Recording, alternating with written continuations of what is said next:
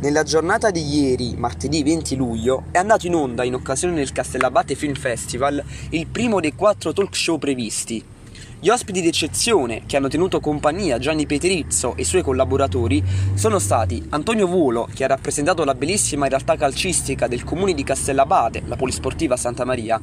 poi Danilo Palmieri, guida ambientale escursionistica, Gianfranco Di Luccia, presidente dell'Associazione Pescatori di Castellabate, l'archeologo Francesco Adamo ed infine, ultimo ma non per ordine di importanza, il presidente del Parco Nazionale del Cilento, Vallo di Diano e Alburni, Tommaso Pellegrino. Molteplici le tematiche trattate, a partire dallo sport, con la polisportiva Santa Maria, vera e propria punta di diamante, che durante la stagione 2020-21 ha disputato per la prima volta il campionato di Serie D, risultando anche seconda nella classifica giovani di valore. Per quanto concerne l'archeologia, proprio con Francesco Adamo si è discusso sulle scoperte recentemente rinvenute, tra cui il famoso relitto di Punta di Cosa, il porto romano che rappresenta il lato della zona militare in epoca proprio romana e la cava dei Rocchi sulla spiaggia di Lago. Infine, Tommaso Pellegrino si è cimentato sull'analizzare le bellezze naturali di cui beneficia il comune di Castellabate e l'importanza del paese anche a livello cinematografico.